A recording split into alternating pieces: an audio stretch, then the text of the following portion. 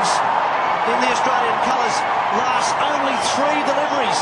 And once again, it's Praveen Kumar.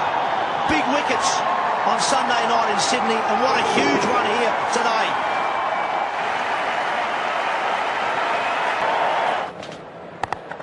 It could be out. Straight to mid on.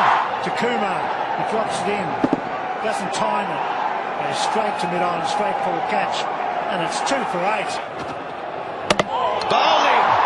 He puts in the short one, it doesn't get up, and again we see an Australian batsman go, trying to play the... Got him!